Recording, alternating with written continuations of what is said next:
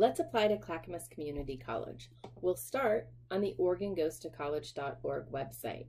From here, we can use this menu option to find the page to apply to college. This is a page that has some good information about what you need to know before you apply, and then a table with links to the application pages for every college in the state of Oregon. I'm already on the Community Colleges tab, so I just need to look alphabetically to find Clackamas Community College.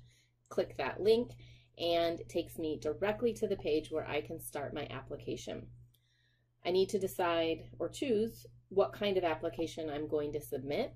Now, I'm going to be a new Clackamas Community College student who's interested in earning a degree or certificate. Possibly I'd like to transfer to a four-year school someday, so I'm going to choose this button. If that's not you, you'll find the button that works for you, but most of you are going to be choosing new Clackamas Community College student. Um, when I start the application, I see that there are going to be four pages. And the first one is personal information. This is where they're looking for my name and a few other pieces of information. First question is my legal first name. This is the name that is on all of my legal paperwork, including my driver's license if I have one, my school transcripts. This is the official legal first name. Mine is Olivia. My middle name is Charlotte. They're looking just for my initial, so that's a C, and my legal last name. Again, what's on my official documents, Miller. I don't have a suffix, but you might if your name legally includes junior or senior or second, third, fourth.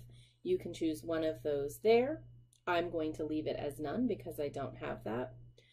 Um, my chosen name, I don't actually like to be called Olivia. I don't like anyone calling me that at all if I can help it. And so I'm going to enter my nickname, the name that I want them to call me when they send me information or what my professors will know to call me in class. And that's Livy. If I had a chosen last name, I could choose that, I could enter that here too. Previous first and last name is about other legal names that I may have had before the name that I currently have. So the most common example for a student would be that you were adopted and changed your last name. Um, if that is the case for you, then you're going to enter what your previous first or last name was um, legally. This is all to help them match up your application pieces together. Uh, date of birth, I was born January 1st in 2003. For my social security number, I have one, and so I'm going to enter it here because I know that this is going to help the college uh, match up my application with my application for federal student aid.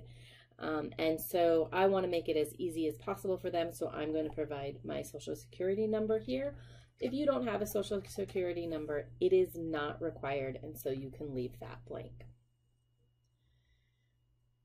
Um, there are a few questions the college is required to ask um, to for reporting purposes, and it starts with veteran status.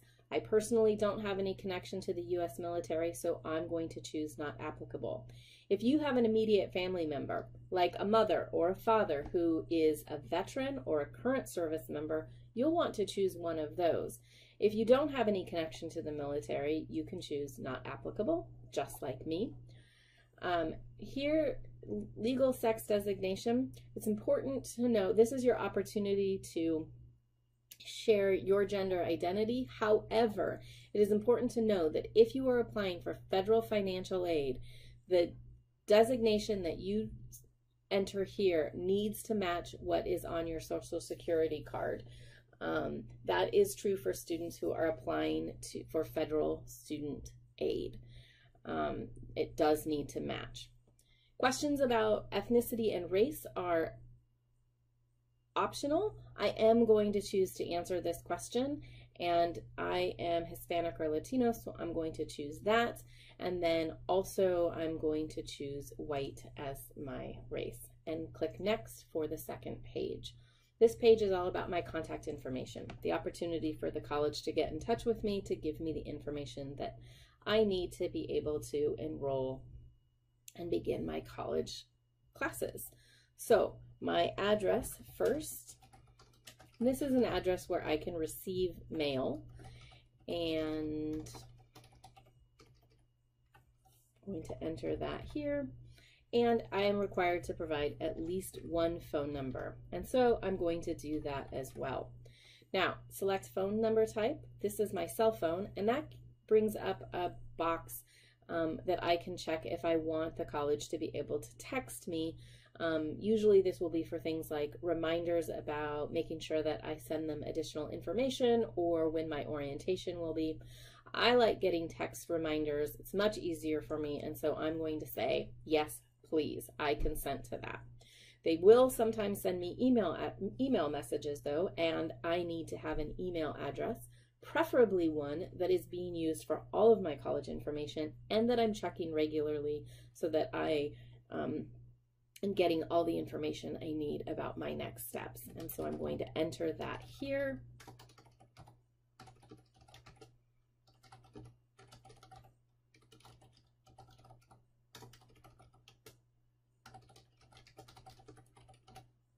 Of course, they asked me to enter it twice because it's so easy to mess that up.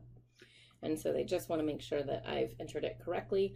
Emergency contact information. This is if something were to happen and the while I was on the campus and they needed to let somebody know, who do I want them to let know? I'm going to choose my mother, Jennifer Miller, and her phone number there. Clicking next brings me to the third page of the application. I'm already half done. This page is about what I intend to study. And um, so I know, and the first one is when do I plan to start classes? I'm going to graduate from high school in 2021, and so I want to start classes as soon as possible after that. That's going to be summer term 2021.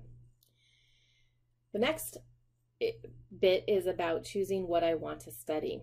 Now, I haven't 100% decided what I want to study yet.